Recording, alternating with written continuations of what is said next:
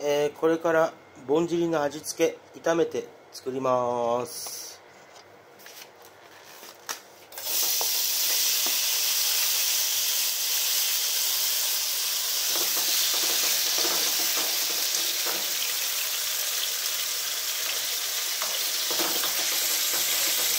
えー、次はカット野菜入れます。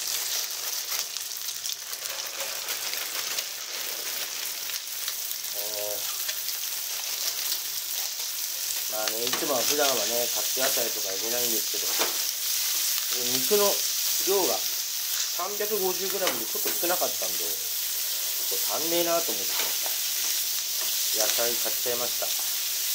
まあね、体にもいいし、好きなキノコ、なんだっけ、ニラ、両方入ってるからね。ちょっと味が薄くなっちゃうんで、焼きたれ少しかけます。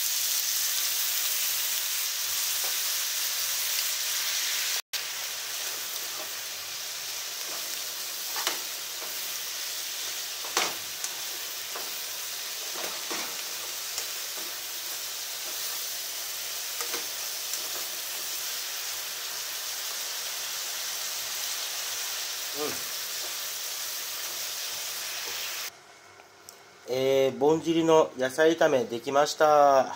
ではいただきます。